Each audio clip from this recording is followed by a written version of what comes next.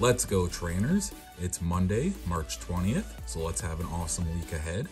The featured Pokemon is Zacian. Able to cut down anything with a single strike, it became known as the Fairy King Sword, and it inspired awe and friend and foe alike. Evolution chain does not evolve. Type Fairy Steel.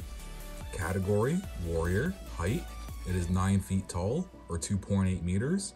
Weight 782 pounds or 355 kilograms. So I learned something about Zacian today. He's a rather huge puppy. Silver Tempest, wish me luck. Best of luck with the Lugia. One, two, three, four. Let's guess fighting. In the water.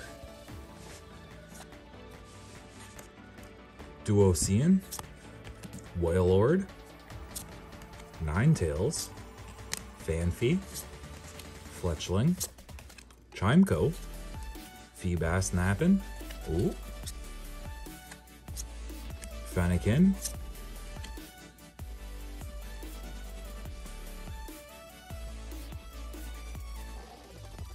Foongus in reverse, and Crobat holographic.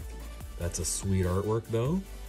Building in the background, lots of action. Let's go trainers, we reached the 1000 subscriber milestone, so the next giveaway will be at 1500. Don't forget to like, comment, and subscribe.